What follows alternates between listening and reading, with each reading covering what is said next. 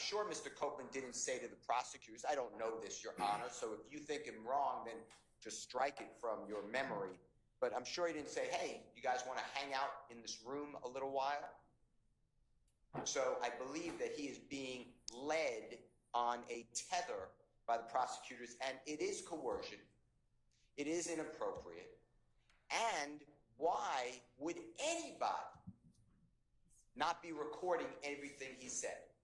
And why do I have to get it in drips and drabs? So I am objecting to the the tactics of the Fulton County District Attorney's Office and whomever else they may have employed with a citizen, regardless of what the court may think of him or the prosecutors think. I don't have any. I don't have any thoughts. So please don't put put Good. that in. That's Put what I put. would hope. Please don't put that in uh, No, no, in I'm in with in the ether. Okay, but that's what you just said, sir. Ether is Okay. clear.